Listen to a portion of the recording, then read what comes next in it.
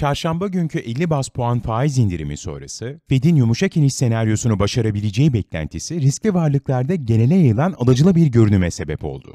Wall Street Korku Endeksi VIX yaklaşık %8 düşerek 16.70 seviyelerine kadar geriledi. Öte yandan Washington'da konuşan Amerika Hazine Bakanı Yellen, Fed'in faiz indirimi kararının enflasyonla ilgili risklerin gerçekten anlamlı bir şekilde azaldığına dair güvenini yansıttığını belirtti.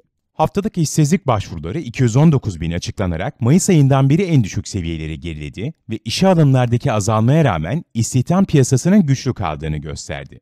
Mevcut konut satışları ise Ağustos ayında %1.3 daralma beklentisinin üzerinde %2.5 daraldı ve 3.86 milyon olarak açıklandı. Avrupa hisse senedi piyasaları benzer bir görünümle genele yayılan alıcılı bir seansı geride bıraktı. İşlem hacmi ise Amerikan endekslerinde olduğu gibi yüksek oldu. Eurostoxx 50 endeksi %2.24 değer kazanarak 4943 seviyesine yükselirken, FTSE 100 %0.91, Kakaran 40 %2.29, DAX %1.55 değer kazandı. Eurostoxx 50 endeksinde en çok primlenen sektörler %3.75 ile bilgi teknolojileri, %3.13 ile taktiksel tüketim ve %2.76 ile sanayi olurken, değer kaybeden iki sektör %1.70 ile iletişim servisleri ve %1.48 ile altyapı oldu.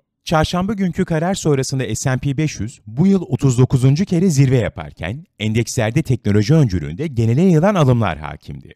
S&P 500 %1.70 değer kazanarak 5713 seviyesinden seansı tamamlarken Dow Jones %1.26, Nasdaq ise %2.51 primlendi. S&P 500'de en çok primlenen sektörler %3.08'de bilgi teknolojileri, %2.20 ile takdirsel tüketim ve %1.88 ile iletişim servisleri olurken, en çok değer kaybedenler ise %0.58 ile temel tüketim ve %0.23 ile emlak oldu. Bugün Amerika hisse senedi piyasalarında triple witching günü olacak ve yaklaşık 5.1 trilyon dolarlık türev aracın vade sonu gelecek. Veri takviminde Amerika tarafında önemli bir hareketlilik göze çarpmazken Avrupa tarafında tüketici güveniyle Almanya üfe verisi takip edilecek. Dün Amerika tarafında haftalık işsizlik maaşı başvuruları verisi 230 bin beklenirken 219 bin seviyesinde açıklandı. Yıl sonuna kadar 3 kademe faiz indirimi ihtimali ise %90 civarında fiyatlanıyor. Dolar endeksi günü 161, Euro dolar paritesi ise 1.1164 seviyesinde tamamladı. Gün içinde MA 20 seviyesine denk gelen 1.1079 bölgesindeki desteğe doğru hareketlilik izlense de güçlü kalan parite yukarı yönlü hareketliliğini sürdürdü. Dolar karşısında dünün değer kazanan tek gelişmiş ülke para birimi %0.06 oranında yükselen Avustralya doları oldu. En çok değer kaybeden gelişmiş ülke para birimi ise %1.26'lık kayıpla Japon yeniydi.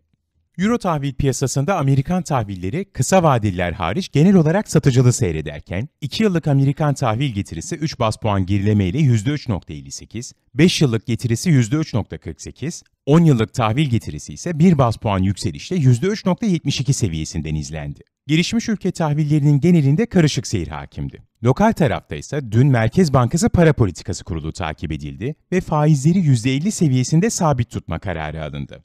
Düşüş gözlenen 5 yıllık CDS primi ise 255 seviyesinden takip edildi.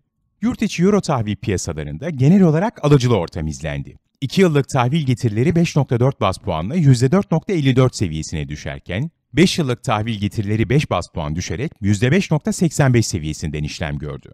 10 yıllık getirileri ise 3.5 bas puanlık düşüşle %6.61 seviyesine geldi. Dinlediğiniz için teşekkür ederiz. İş Yatırım YouTube kanalına abone olun, piyasalar kulağınızda olsun.